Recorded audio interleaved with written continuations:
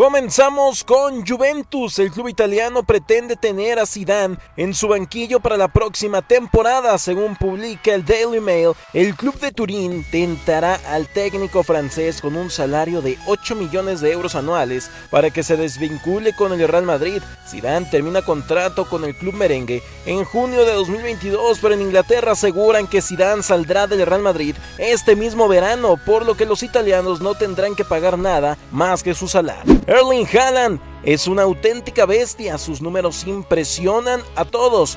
Uno de los retos del noruego de 19 años es lograr la bota de oro, una misión complicada pero no imposible para la racha que tiene actualmente. Al momento de grabar este video está en el tercer puesto de la bota de oro con 42 puntos por detrás de Inmóvil con 54 y Robert Lewandowski con 50 puntos. Te dejamos la pregunta del día, ¿crees que logre quedarse con el galardón? ¿Por qué? Las mejores respuestas saldrán en el próximo video. El Real Madrid prepara una oferta por Fabián Ruiz, la cual aseguran que rondará entre los 70 y 80 millones de euros. Ruiz tiene contrato con el Nápoles hasta 2023, pero esta oferta convencerá al equipo italiano de dejarlo salir. La prioridad del Real Madrid es cerrar el fichaje antes de la Eurocopa para evitar que el jugador aumente su valor, ya que es una de las piezas clave de la selección española. El precio de mercado de Dembélé y Hazard sigue cayendo. La web especializada Transfer Market ha fijado el nuevo valor de ambos jugadores. El francés continúa a la baja. Hace un año llegó a su máximo valor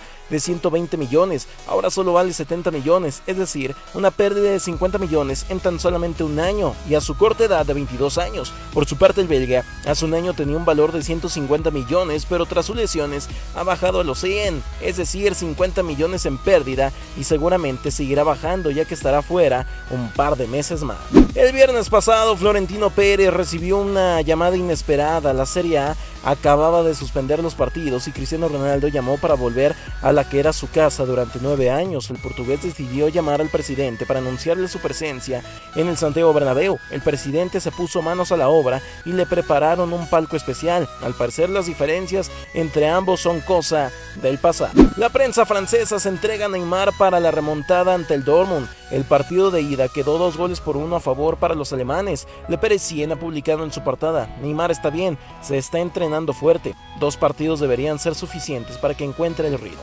Aseguran, la clasificación dependerá de Kylian Mbappé y Neymar Jr. ¿Crees que logren remontar? Te leemos en los comentarios. Francisco Trincao, jugador del FC Barcelona, se encuentra en Sporting de Braga. Volvió a marcar el extremo portugués de 20 años ya suma 6 goles en la liga portuguesa, todos ellos desde enero, cuando el Barcelona anunció oficialmente su traspaso, se incorporará al club catalán a final de temporada. Terminamos con Sebastián Yeget, jugador del Galaxy, quien hizo unas declaraciones sobre Zlatan. Definitivamente hay una mejor sensación en equipo sin Zlatan. No podía ser libre, te sientes que literalmente quieres quitarte los tenis y salir del campo. Es difícil jugar contra él y más difícil jugar con él, aseguró. Estas fueron las mejores respuestas del video anterior. Gracias por llegar hasta el final del video. Suscríbete para que estés informado de la mejor información del fútbol internacional.